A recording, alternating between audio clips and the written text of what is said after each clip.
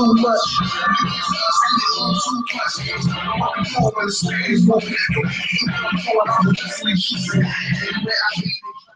What's up? What's up? We're back with another Wednesday. It's your girl Carmen D and my. Pastor Dumas, thank y'all for allowing us in y'all personal space. Listen, we're so excited to have our third edition of our kids edition. Thank y'all so much for joining us last week with Sister Kamari and how wonderful she was as a gracious guest. We enjoy thank her so much for joining us. But tonight, Carmen, I'm excited tonight because we got with us none other than an 11 year old sensation, Chasten Haynes in the house. Come on. Hey, What's up, Chasey? What's up? how you doing? Good. How about you? Man, we're doing great. We are so glad that you were able to come on, man. And so, what we like to do is for our kids edition, we like to start out with you giving a shout out. Go ahead and give a shout out uh, to you. Go ahead and shout out your family, man. Go ahead. Uh, I'd like to shout out the Lord for my amazing parents, my godparents, my grandparents, my aunties, uncles, nieces, nephews, my, and my brother and sister. Man, hey, that's what I'm talking about. That's an amazing shout out. That's a lot of love, man. We're glad you did that. So, Chasen, what we've been asking a lot of our, our young viewers, our all of our viewers, is because we're all in this coronavirus and everybody has a voice. And what we said last week to Kamara, uh, a lot of people been making a lot of decisions for your age, um, and we've not heard from your age how you feel about it. First of all, uh, happy belated birthday! You just Happy turned 11 years old. Yeah. So we want to get an 11 year old perspective of the coronavirus. So share that with us, Ch- uh, So, coronavirus is basically an air, like a deadly airborne virus, and it can hurt people in different ways. It could put you in a hospital and even cause death. Death. So you saying we catch this thing, we just gonna go meet Jesus, right? Like it could put you in a hospital, and sometimes you might survive, and sometimes you might not. Exactly, because we got a lot of survivors out here. Now come on now, don't forget about our survivors. That's right. We got some survivors. Chasen, so um, what we want to ask you first, what we want to talk about first is is that um, I know for a fact that you love school. You, I mean, you are. I mean, you would love. You love school, and so school was really, uh, you know, as I said last week, and I want to say again, it was abruptly stopped. It was halted, a screeching halt. Um, how did you feel in March when they basically told you all that you probably won't be going back to school this year? Uh, well, yeah, last year now that you would not finish the school year. How did you feel, Jason? Disappointed. And Well, you want like, yeah. yeah have to It's disappointed in what now? I just felt bad because I wanted to finish my school year. Yeah, yeah. So Carmen was asking you, uh, did you feel like what, Carmen? Did you feel like, yeah, we gotta go to school, no more homework, not looking at these teachers' faces, you know? No. I guess I just be the only one that be Yeah, because like our that. last week guests felt like they missed school too. Yeah, so that's a good thing. Miss school, miss school, stay in school. So, what are some of the things um, um, that you have with this coronavirus? Things are going on. What have you found yourself missing more than anything about school? What do you miss about school? Well, I miss my teachers and my friends and eating lunch. Eating lunch. Eating lunch. I hear you. Y'all had some good lunch food, I bet. Ew. so, like, what was your favorite subject in school? Math. Math. Ooh. Mm. Tell us about it. No, So you like math. so you stopped covering her tracks. You're like, hmm. I see a lot of people have a problem with math, but you love math. Um, did it come easy to you, or is it just something that you just love to do? It came easy for me and just it's super easy. You say that now. You say that now. I love math when it comes to money. Uh-huh. You know, when I'm getting my money, all right, when I'm getting that. But you know, that's another story for another day. so, Jason, um, so what have you been finding? What have you been doing as far as your activities? Now, I know we see a lot of things behind you, but and we're going to get to that. But what have you um, when you when you finish because you had to do uh, schoolwork uh, on the computer uh, before school was out how did you get through a normal day uh, by going from the classroom one week and then adjusting to being at home how, what, how what was that what does that look like for you Well, like I, when I woke up, it just like felt completely different for me. Like I, wa- Mhm. I felt like I wanted to go back to school, and it just didn't feel right. okay Yeah. It felt oh so right to me. with the with this so how do you feel about um, you know they're saying about going back to school um, next year uh, for the upcoming school year um, i don't know the decision that your parents have made yet but how do you feel about that with school being there saying some can stay home um, some can go to school but whatever you know where do you fall in that which one would you like to do I'm gonna stay at home, even though I love going to school. I'm gonna stay at home until this virus gets over with. Like, Exactly. So if, if you could tell, if you could tell, Chasen, if you could stand in front of uh, the school board or those individuals who are making decisions, what would you tell them about this? Would you tell, would you encourage them to let everybody stay home? What would you tell them? I mean, like if you don't have like a computer, like you like you need like knowledge, so like you need to go to school. But if you have like a computer at home or you have enough money for it, might as well just stay at home. I totally agree. I agree. I agree too, because you know, I feel like now that you know you guys are at an impressionable age, this is something different. And I feel like, you know, this could be in history books because you could be like, you know, years and years from now, you could tell your children, hey, I got homeschooled once upon a time. So tell me about some of this stuff you got going on behind you, dude. Is this one of your extracurricular activities that you do while you're at home during this virus? Yes. So I want you to start start with the smallest and and and work our way up. So now we're going to lean on you um, and and and for you to kind of guide us through what you got going over there. And for all of our listeners, uh, Chasen is 11 years old, and and these are things that he's been doing for quite a while. Uh, so show us some of your stuff you got, Chasen. Well, this was the first Lego I've made like when I was like younger. It's like a car. Now, how old were you when you made that? About like five, six. Okay, now how long did it take you to get that one together, Chasen? Uh, like a day or probably took like a day. A day. Okay. okay, I'm not going to even talk about how long it get me to going. What else you got back there? What else you got? What's your next thing? Then I made this better car right here, a Batman car. Mm-hmm. Did that take you a day as well? No, no, that took not. I'll answer that one, Chase. Now that right there took chasing probably about about a month to do. That, that's got all those those small parts, that Carmen. Uh, it probably took like two days to make. Two. I know you lying. It took me a whole It took me. five weeks. It took me longer than that to figure out my phone, and it's an iPhone seven. Ha, I wouldn't have said That's it. what I do. I mean, there's nothing wrong with it, Carmen. I mean, it's great. I love my iPhone. se- Hello. What else you got, Chase? Then I have this dragon. How long that took you to make? Uh, probably like a day and a half. Skip. Whoa. Wait a minute.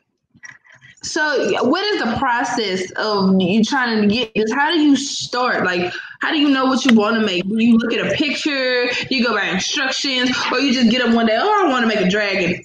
There's an there's an instructions and it tells you how to make it. It's Mm. not that hard to follow. How many pieces is that right there, Tracy? Just that one piece. Mm, like 500. Five hundred. 500 pieces, and it took you uh, A day and a half. a day and a half. So were you like one of the kids that you know like that leave their Legos like all over the floor and it was like, hey, I'll just make some out of that? No, I keep them organized. Oh, okay. Mm-hmm. That's a key to getting everything started. Organization. Okay. All right. Wow. I feel like you throwing shots. No, me? Just- No, it's about Jason. We're talking about Jason. But you just looked at me. Uh, What you got, Jason? And I have this one right here. Oh wow. Now, Jason, now tell us what what is that right there now? It's a bat cave for Batman. That's The entire back cave. Yes, sir. I am just in Now, how many pieces is that? Like a thousand three hundred. thousand three hundred. How long did it take you to do that one? a day. How do you do these in a day? These are a lot of pieces, and you have a lot going on, and you trying to read instructions, and you trying to put this together. You just you, you like to multitask. Okay. Jason, so what would you tell, you know, somebody who wants to get into, Le- you know, to build Legos? What would, what would be your advice at any age, even, you know, talk to even my age as well? What's one of the key things to do or in, in doing Legos? Um, try to follow the instructions.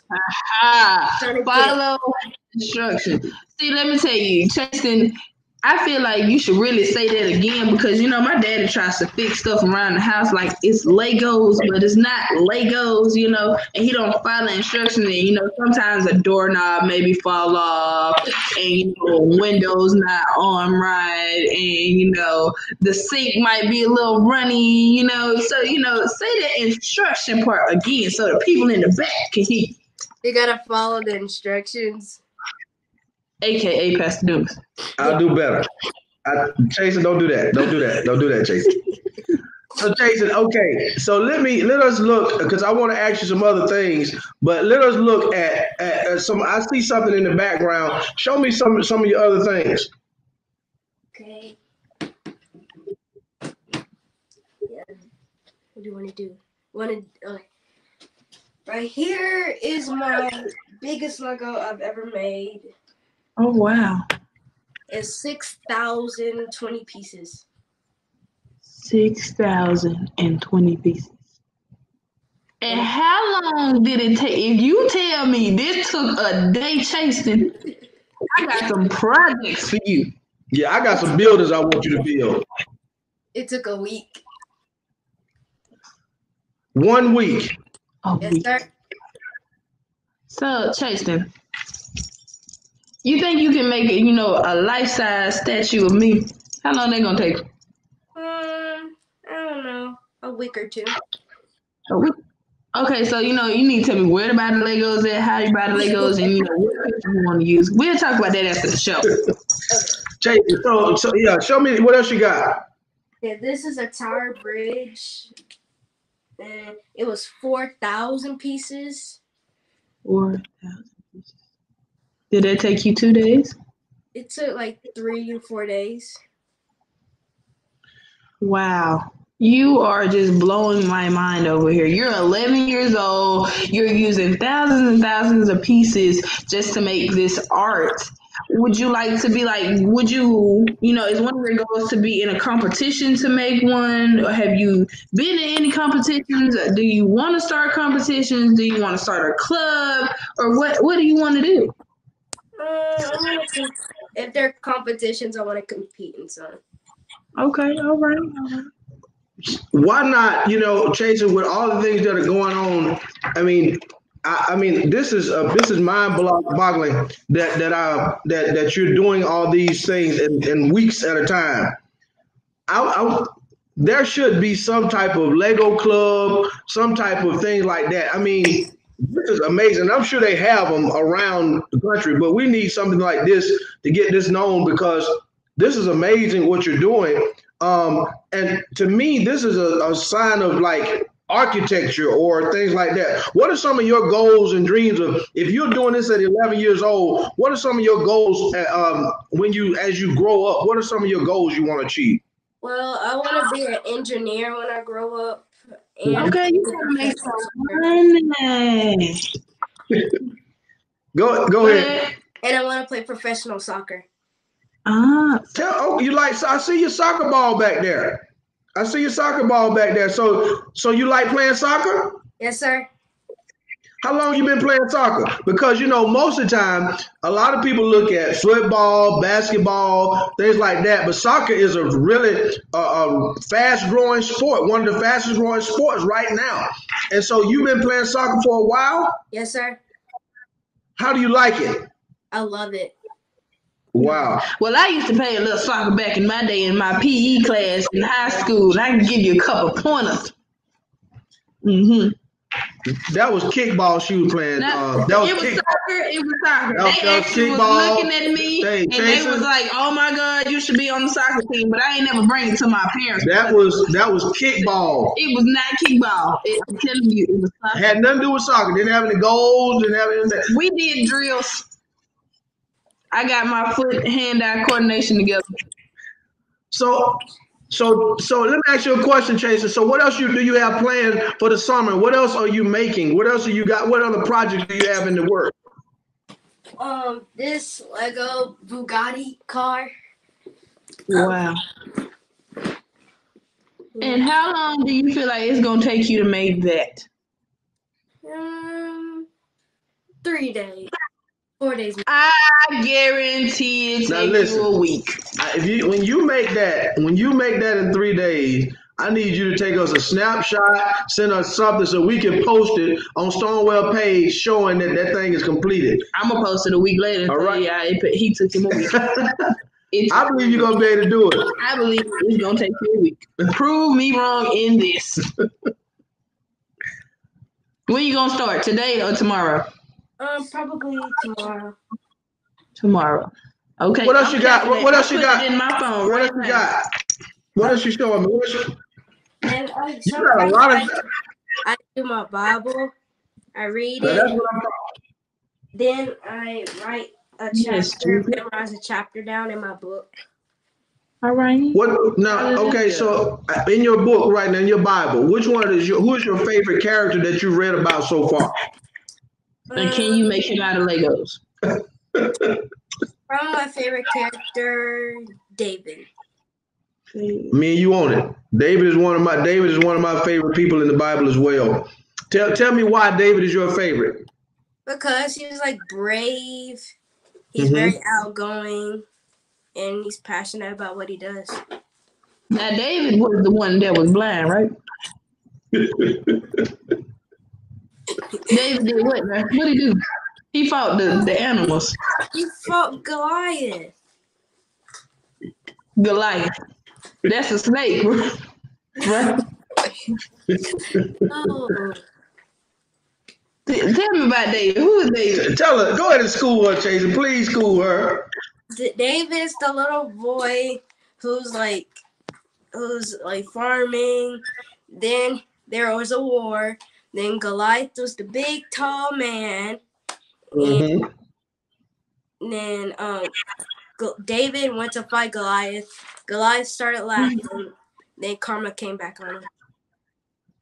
So David beat up somebody, right? So, oh yeah, I know who you're talking about. The dude with the stones, right? Yes. He had the pebbles in the what the thing? About the slingshot. Slingshot. Help Yep. out, help out. Yep. You knew what I was talking about. See, we here. I know what you're talking about now. Okay. I'm gonna have to read. You know, I gotta brush back up on my Bible. I know my Bible stories now. Mhm, mhm, mhm. So, um, Chasen, um, I do remember one time before, um, that you know you did the I uh, the, the the the I Dream speech by Dr. King. I have a dream speech by Dr. King, and um, at that point it really moved me. Um, and how did you feel? You know, speaking in front of that many people um, during those times. At first, I felt like, but as I went down, like from it, I started getting more comfortable. And I want to tell you this too, Chasen. You know, you're you're one of our active kids at the church. You know, you speak. You've done so many things. How how does church play in your life? How does how how important is church to you? It's very important. Brought me closer to my and it brought me and it, yeah. That's awesome. That, that's awesome, and I, I'm glad to hear that. Now, you got another question before I jump in? Oh, okay, because I feel like he's Yeah, I'm, about to, I'm about to dive in. I'm about to dive in. up in there.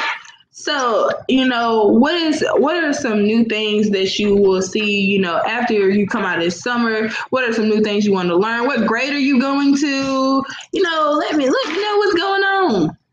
Oh, we'll be going to sixth grade after like being after being in quarantine is over. I just want to go on a vacation. Hey man, Where you want to go, Chase? Chase, tell me where you want to go. don't say Florida. The Bahamas. It's Okay, so you know what? We gonna have to plan this together because I want to go too. Cause okay, we'll talk. hmm Listen, I'm with you. I'm so ready to get out of here too. So when this thing is over with, I think everybody's going somewhere. hmm So hey, Chasen, so let me ask you this question right here. Um, so you are about to go to middle school. Oh. Oh my God. Oh my God. You this is your first year of middle school. And I do know it's different. I know it's different right now. But there is going to be a time when you get back into middle school. So how do you feel coming from elementary going into middle school? well nervous. Mhm. Yeah. Then I feel like like half of the half of the like the school year, I'll probably get more. going to middle school. Okay. Mhm. All right. Well, I believe those nerves won't even bother you at all. Because you know why? You'll be at home. You'll be at home. Learning virtually. And then when you get back to all your friends, y'all just going to be like, hey, I'm used to it. we just, you know, we in this thing. How do you keep up with your friends, Chaser? What you? How do you keeping up with all your friends? And how did you do a Zoom party? You doing something I haven't even done yet. Well, that's What? How you do, Chasing? So how did you do a Zoom party? Sometimes, like when I was doing whole like whole online school, my teacher would do like Zoom calls, and we all get to see each other. And I kind of have my friends' phone numbers down. Oh, okay. Did y'all ever get into that moment of like your teacher is talking in the Zoom and then you know you sitting over here trying to text your friend on the laptop like it, as if y'all was in class like passing notes? I know I would be doing that. Asking No, for no, he, he no, no, he, he didn't. Y'all didn't do that. No. Oh, okay, they was asking you for answers. I know you ain't got to tell me. It's okay. he said sometimes. See, I told you. Uh huh. Hey, Chaser. Bless Carmen. Um, I want to know something. So, uh, how how you having an older brother and an older uh, you have an older brother and older sister and nieces and nephews. So, how does it feel for you at your age to have nieces and nephews, Jason? Frustrated. Oh, thank you. Okay. Somebody. All tell right, them. talk about it. What, what, what's frustrating? What frustrating? and it's very frustrating. Mm. uh huh. You're very passionate about. It. Let's talk about it for a minute. Well, express your passion. Express yourself, Jason. Uh, I know your I know your mom and, and granny and dad over there like, no, no, no. Tell us what frustrates you, Jason. Um, sometimes they be begging to play my game. They want Uh-huh. me sampling. They want me to feed them. They want me to play with them. I gotta do everything. I gotta give them something to drink. Uh-huh. Yep. They Yep. I know it's just like oh my god, like like y'all got your own stuff. But why my stuff? So you know, I understand. I understand. So you hey, so so Jason, is it fair to say you love to see them come, but you happy to see them leave? Is that fair to say? yeah, sir. Yeah, sure. but you be like, don't touch my Legos. Don't touch my Legos. Yeah, so how are you able to keep such young kids away from all that stuff, Jason? Yeah. I mean, you got all this beautiful stuff. How are you able to keep them away from that? Sometimes if they touch, I tell them like t- uh, it's like say if they touch my big Lego, I try to take something away from them that they really like. Oh, that hurts. I like, huh? That's right. That hurts. That's You right. hit them where it hurts. that hurts. Okay. Man, that's great. That's great. So, Jason, um, before we before we go, what type of advice? What type of advice? You know, because summer's here, um, we don't know exactly what school is going to completely look like next year, uh, and so that means you know even sports. I mean, do you know what sports is going? We don't even know what sports is going to look like. So, how are you going to to stay sharp? You know, what can what can a kid your age do to stay mentally sharp this summer? Tell somebody what up, what they can do to stay mentally sharp this summer. Well, Read book. something like you occupy and like try to do stuff that you couldn't do before.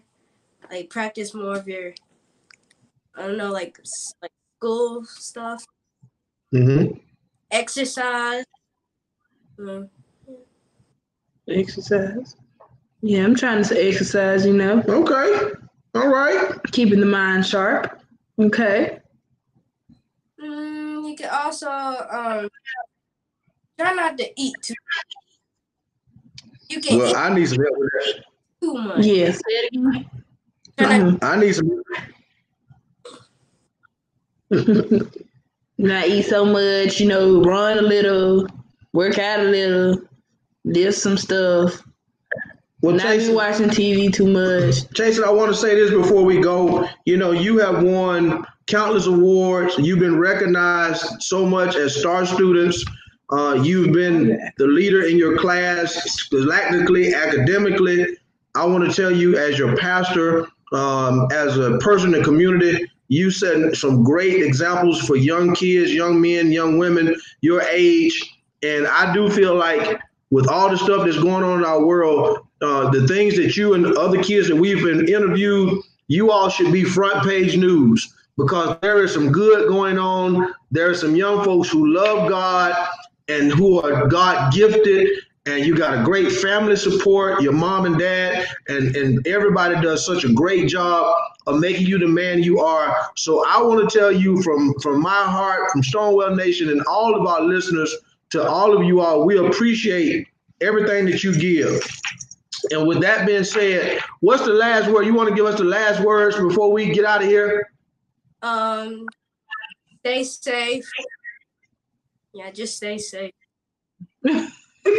We appreciate it. That's right. And I also want to thank you for letting us come into your world, see what you do, because I'm going to be waiting on my, you know, life size me. We'll talk about that. But, you know, thank you for showing us what you do, new habits that we can learn, you know, because I might want to start doing a little Lego. I'm gonna let you be the president of our new Lego club, Okay. and Georgia. That's right. Lego Club, Presidente. All right. I need to start out with something small though. Some start something real small. Tell him to start fixing the doorknobs right here.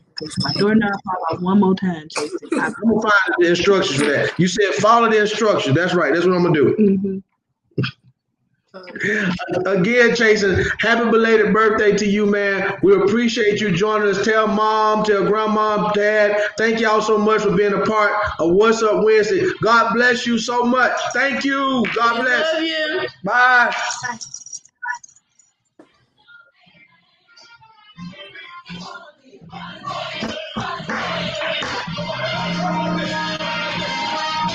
Bye.